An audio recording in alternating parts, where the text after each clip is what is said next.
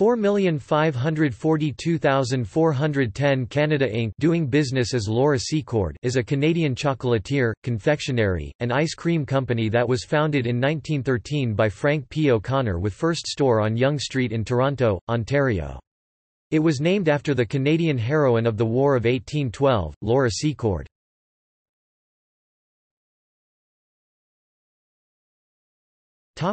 Ownership The company is owned by Jean and Jacques Leclerc, two well-known brothers in the food industry in Quebec City. The Leclercs own Nutriart, a company devoted to chocolate production. Nutriart is a former division of Biscuits Leclerc. Founded by O'Connor, it was known as Laura Secord Candy Store and Fannie Farmer Candy Stores in the U.S.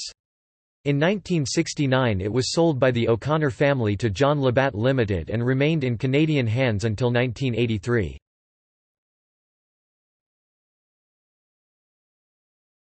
Topic: Foreign owners 1983 to 2010.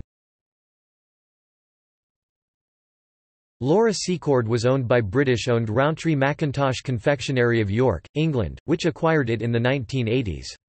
Rowntree Mackintosh's successor, Nestlé's Canadian unit, sold it in 1998 to Archibald Candy Corporation of Chicago, which then sold it to Gordon Brothers LLC of Boston in 2004.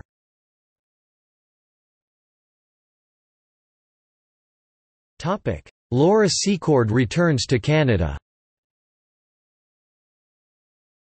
It was acquired by Jean and Jacques Leclerc of Quebec in 2010. In 2004, there were 174 outlets with a staff of 1,600. As of 2018, it has exactly 100 retail outlets throughout the country. It has offices in Mississauga, Ontario, and Quebec City, Quebec, Canada.